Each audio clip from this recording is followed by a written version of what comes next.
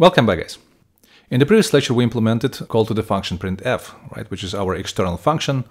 And today we'll start talking about parsing, that is we'll start accepting our programs. Uh, and we're going to implement exactly the same call to the function print, that is printf, uh, passing our string, right, such as hello world. And in general we said printf accepts multiple arguments, right, that is we can pass the format string uh, in using format characters, right, such as percent %d for numbers, and we can pass the value 42. So as the result of today's lecture, we should see this value printed. But let's start from the parser. Uh, as we said, we'll be using the S-expression format for our programs. Uh, and we actually implemented the parser for S-expression in C++ uh, in the class called building a virtual machine. So I'm going to delegate to that lecture, and then we'll get back to integrating parser. Right, for this we create the BNF grammar. And as previously, we're going to use syntax tool that is the syntax CLI module, uh, which as we can see accepts the grammar. So let's switch to the lecture to build the parser.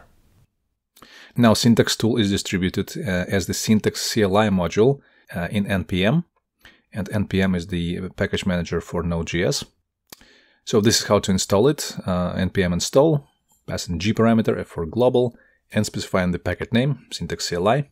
So EVA programming language will be following S expression, that is the either simple atoms such as numbers or symbols or strings, uh, or lists. It might be empty list or list containing some um, other sub-expressions. And as we know, first we define the lexical grammar, that is the tokens. So let's start from skipping the white space. Right, if we met the white space, we just return the empty token type. And this is the sign for syntax to just skip it altogether. Then uh, let's have the numbers and for now, let's use just simple numbers, slash d plus. That is digit repeated one or more times. Uh, the strings will be anything in double quotes. And also symbols. Here's the regular expression for symbols.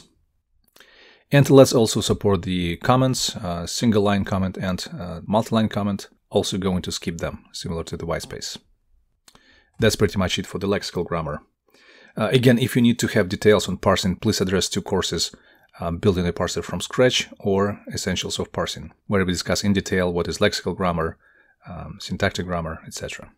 And now let's define the syntactic grammar, that is the BNF in Backus-Naur form. So previously in JavaScript, uh, we've been using just JavaScript arrays to hold uh, S expression values. Uh, this C++ is a lower level language, and that list or array may contain any values in C++, to achieve this, we'll need to define an expression type. So as we said, we support numbers, strings, symbols, and lists. And the expression itself contains the expression type and data fields corresponding to the type. In this case, we don't use the union, otherwise it will be more complex handling for the strings and vectors, uh, but this is exactly how we're going to represent an AST node. It has a type and specific data fields. Let's introduce convenient constructors. So one for number, and set the number field. Now, if we receive the string in the constructor, uh, then we need to check whether the first symbol is the double quote, and in this case we set the type uh, to string, and the data, that is the string field, uh, contains the value between the string quotation, right? We strip the quotes.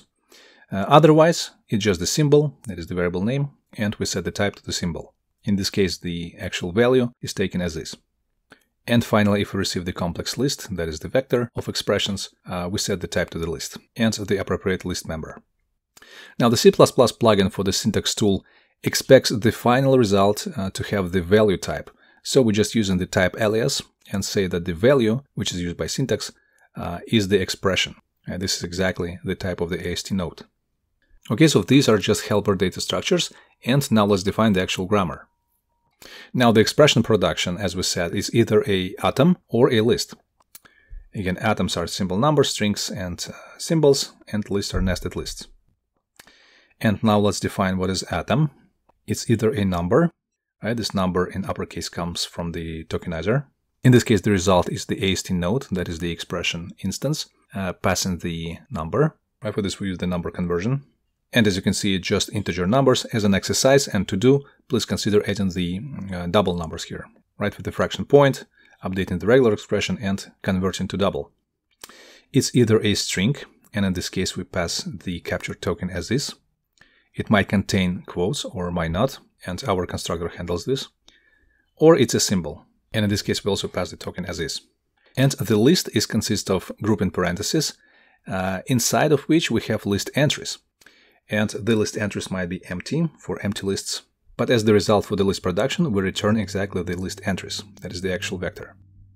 So let's define quickly list entries. It's either empty as we said, and in this case we just allocate an empty vector, and otherwise it is recursive production, uh, list entries followed by expression. So we can substitute for this list entries anything from list entries, including itself, and this is how we get expression followed by expression followed by expression, etc. In this case, we push the final expression, that is the $2, into the list, which by this time is allocated, and the result is the final entries list, that is the dollar $1. Again, if you need more context on parsing and the parser generators and the grammars, please address the essentials of parsing class. Okay, let's try generating our parser. Right, for this we call the syntax CLI passing the grammar. We specify the mode as LALR1, uh, which is the most practical in this case. And we specify the output, which will be the header for the Eva parser, right, EvaParser.h. And as you can see, syntax tells successfully generated.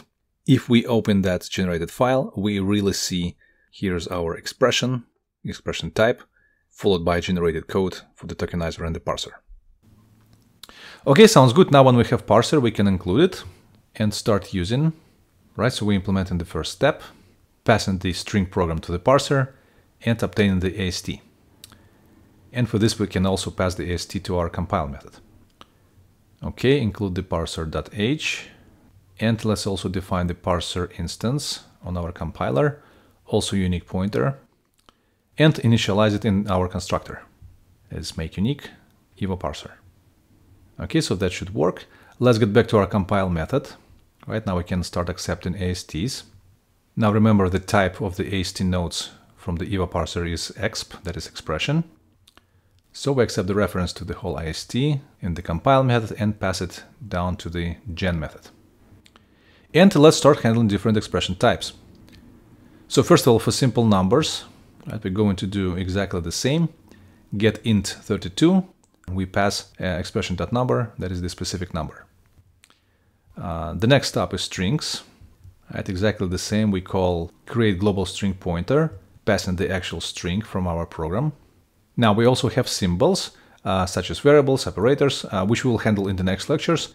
And today we'll handle only the function printf, that is called to the function printf, which is the final expression type, that is lists, where the first element, that is type tag, might be of different types. So if the operator, that is the type tag, is printf, we treat it specially as the call to the function. So we port everything from our previous implementation, that is getting the function printf, uh, allocating arguments, and creating the call expression. Now, in contrast with previous case, uh, in addition to the format string, we need to handle all the arguments, right? Not just uh, the first argument. Now, for this, we go through the rest of the expressions in the printf call, right? With this, we'll get the format string, the number 42, and anything else. And just call recursively gen function, right? Passing the specific expression type. And finally, we have the same create call, passing the printf and the arguments. Sounds good. Let's have the default value at the very end of the gen function and just return 0. And that should be it. Let's try it. Okay, some errors. Okay, we need to import the EVA parser from the syntax and also have the typo parser parse. Okay, so that should be it. Let's try executing. And there we go. We see we handled all the compiled expressions, right? We see the numbers, the strings, uh, but take a look, instead of value 42, we see some value 420. Uh, well, in fact, we have value 42 and then there's no new line at the end. Uh, and then we have the zero result as a result of our compilation. Uh, so let's add new line. Uh, but unfortunately, as you can see, it's not handled here. So we need to update either the parser or uh, unescape those new lines and special characters when we handle the strings. Uh, for now, let's do this inside the string itself, just using the regular expressions to unescape uh, and I'm leaving to do to handle all the characters, not just new lines, uh, or you can handle also at the parse level. And for this we need the regex module. Okay, sounds good. Let's try again. And it works. Again, as you can see, our value string is saved automatically into global variable. And exactly the same, we can just have the string, for example, hello, And as we can see, it's also saved to a variable. So in the next lectures, we'll actually start talking about variables, specifically about global variables first, uh, and going down to local variables, uh, stack frames, blocks, etc.